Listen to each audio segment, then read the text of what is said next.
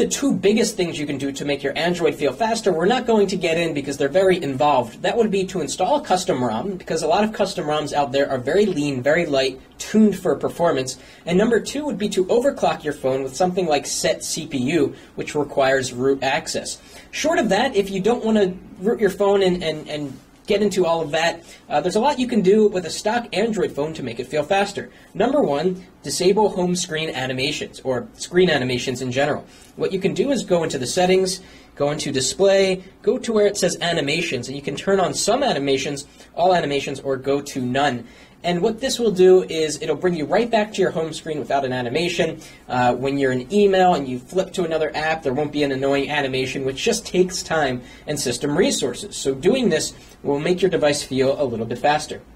Let's jump back to the home screen. Another thing you can do is disable browser plugins. So if you dump into your browser and you go into the settings, you will see an option for plugins down here. And what this is doing, it's scanning the page to determine whether there are uh, any, for example, Flash plugins. And so if you have always on set, that will always load the Flash plugins, and you'll probably get a one or two second delay as your device tries to pull that in. On demand is a good option for most. It will allow you to choose whether or not to run a plugin, so there's a little icon that will show up if it's a Flash element, for example. And off is just probably the fastest thing that you could do uh, to prevent the page from even looking for these plugins and attempting to load them. So let's go back to the home screen and talk about number three. Number three is to run a third-party launcher.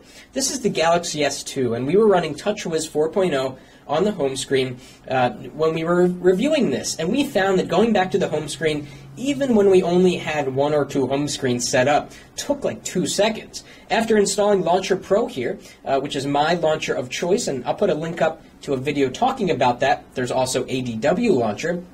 After installing a third-party launcher, things are much faster. When you are in an application, you go back to the home screen. It's a lot more faster than it was before. And plus, Launcher Pro gives you a lot of added controls, and so do the other third-party launchers out there.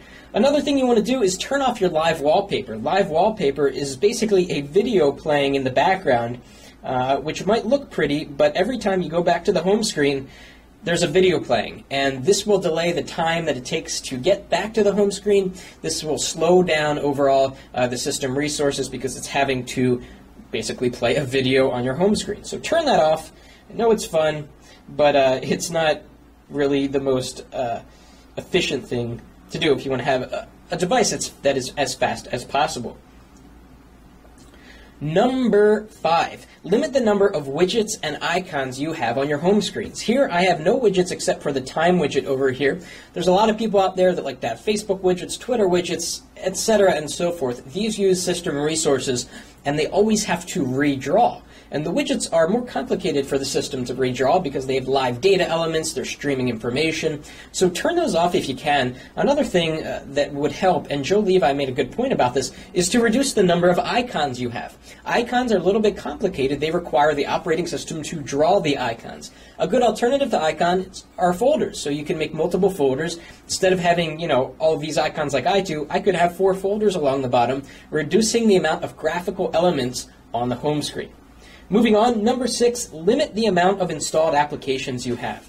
So we're going to dial into applications right here and go to manage applications and in your downloaded applications list look for the apps that you never use it's very compelling to go to the android market and download this app and this app and this app because most of them are free uh, but they use up system resources and a lot of them come with background services that toll your device even when you're not using them so be sure to go through and uninstall apps that you're not using or ones that you don't use on a regular basis.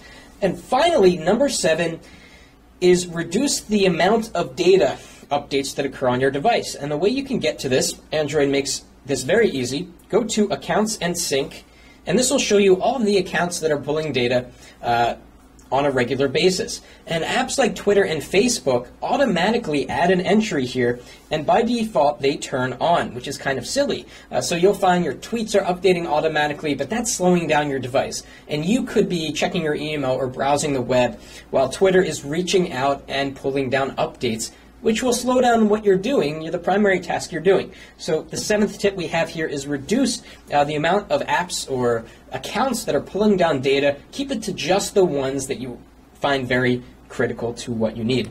So those were seven tips on how to make your Android feel faster. None of them are too extreme. They're all very small and incremental, but taken collectively, they can really help to bring back uh, a little bit of, of speed to, to the Android operating